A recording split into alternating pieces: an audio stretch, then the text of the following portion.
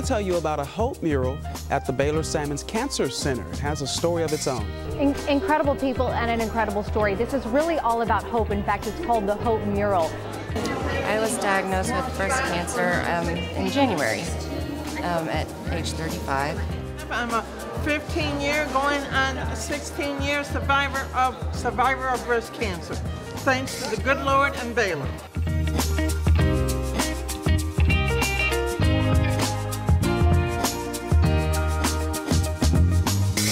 Look like Picasso around here. Yeah. It's nice to see everybody just coming in and join in.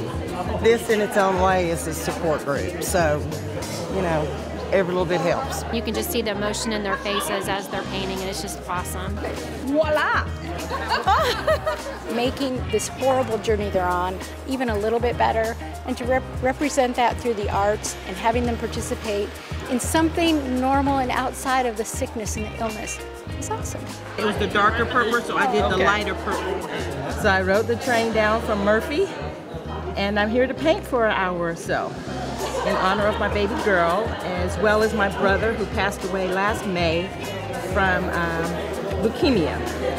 Oh, beautiful. So you have a lot of um, patients and caregivers and family and friends that come here that are affected with cancer, whether it's themselves or someone that they love, and that's been such an amazing difference from some of the other events that we've had. You know, as a former cancer survivor and a, an administrator and part of the Baylor family, it's truly awesome to have something like this here with us today to be able to honor the cancer survivors, the patients that we treat, and the families that support them. I think patients come to a facility um, expecting excellent care, but it's the care of the soul, a care of the person that's also important. It's very important in healing. This is actually a lot of fun. I lost my mother-in-law to pancreatic cancer. Uh, and I have to say, I could never tell a mother-in-law joke because she treated me like a son. And so I did this for, for her. And, uh, her name is Bessie Bailey, and uh, my wife and I uh, truly loved and adored her. Anyway, I'm glad we're doing this. It's about touching people's lives. That's right, my friend.